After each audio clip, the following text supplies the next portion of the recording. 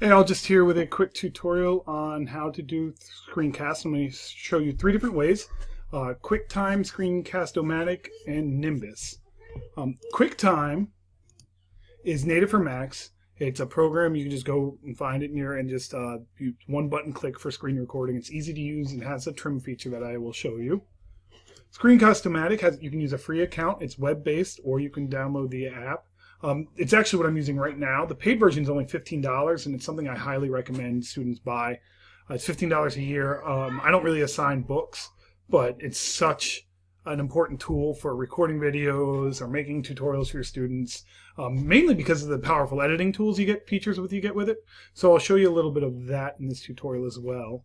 And then finally, um, a Chrome or Firefox plugin that I really like uh, that is Nimbus, and it has Google Drive integration, which can be really important for schools that because many schools um, are GAF schools and use Google Suite and um, use Google Classroom, and so uh, using a tool that's integrated like Nimbus does help out a lot. The first tool we're going to go over is QuickTime. So if you go to your Finder, uh, go to your Applications folder you can find the QuickTime.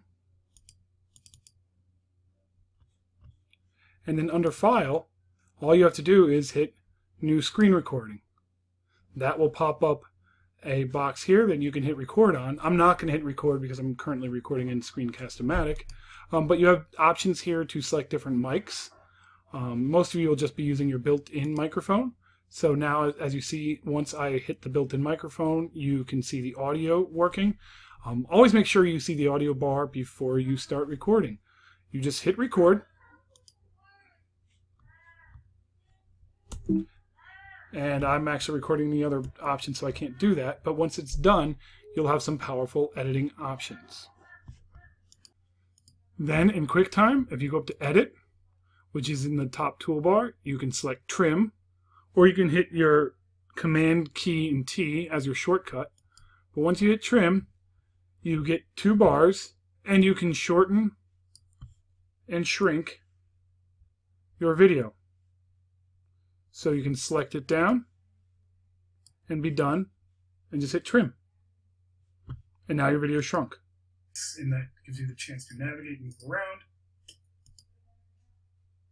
In that example, you see how I took uh, the Google presentation and went full screen with QuickTime, so you didn't see the um, editing bars is how I've kind of set it up. One of my other favorite recording tools is Screencast-O-Matic. It is so easy. Um, it's probably the tool I rely on the most as a teacher when it comes to doing distributed classrooms or making screencasts.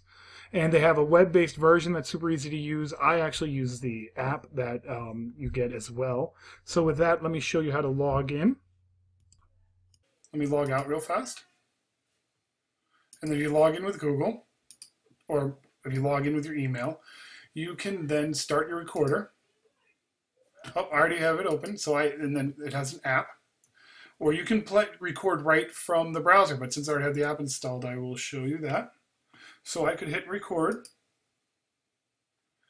and that would start a recording there. And then after you're done talking, you can just hit pause. Then you get your editing tools. So if I were to click on done here on my video, what I love Screencast-O-Matic is for the powerful editing tools. I can click on edit, for example. I can turn off the cursor if I don't want to see that little yellow bar or leave it on. I can cut, insert other videos, narrate over specific clips, um, overlay pictures, texts, um, blurs, arrows, replace items. So there's a ton of full force editing tools, and I don't have the time in this tutorial to really go over them.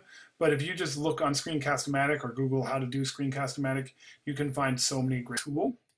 Uh, Nimbus is a really powerful tool, and when you're using it, you can then get the Google integration. So once I hit stop sharing, with the screen capture tools, you get Google Drive integration, and with the videos, you can save the video file um, you can add comments. You, if you you can sign up for Nimbus account, and that has uh, many benefits. But the easiest thing to do is just hit the save the video button, and you can then download it as a WebM file, uh, which you can then play with or upload to YouTube or any video editing tool. And that's it. Um, that's three easy ways to screencast.